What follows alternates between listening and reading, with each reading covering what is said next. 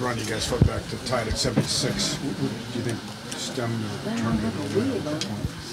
I mean, listen, uh, you know, we um, got, got very close to uh, kind of turning the knob, but they can't they continue to execute, continue to make shots, and um, we didn't make uh, many shots in that third quarter once we tightened it up.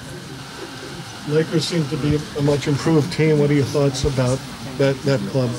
Uh, I mean, since Luke took over, they've improved every single every, every single season, I think, and um, you know, he just tried to implement that, you know, that ball movement, that body movement um, that he got when he was in when he was in Golden State. So.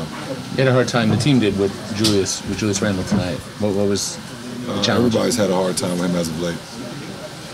Is it uh, at all easier to accept these losses knowing No. this is not your team No. a month from now? No, accept losses. Well, no, I mean, understand. No, this is not the team we're going to see in from that. Yeah, but I'll never accept a loss. It's not. It's not in my DNA.